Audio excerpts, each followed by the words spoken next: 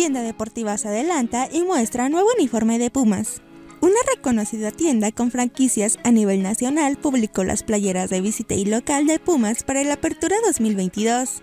Una tienda deportiva y la marca que hace indumentaria para equipos de fútbol se la adelantaron a los Pumas, con la presentación de un nuevo uniforme del equipo para la apertura 2022, mismo que será presentado de forma oficial por el club hasta la noche de este jueves en un evento privado. Una reconocida tienda con franquicias a nivel nacional publicó desde la mañana de este jueves las playeras de visita y local del cuadro azul, mismas que todavía no se comparten en las redes oficiales de la institución o por algún comunicado.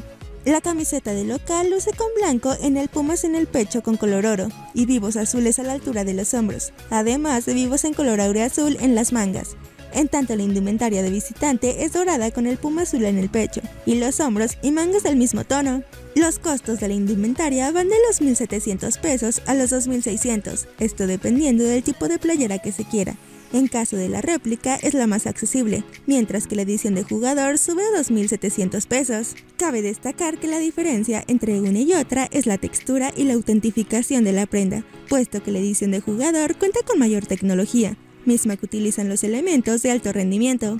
Además de la cadena de tiendas deportivas, la marca de la palomita, misma que le hace la indumentaria a los universitarios, también puso a la venta la playera desde hace horas antes que el cuadro felino la diera a conocer de forma oficial.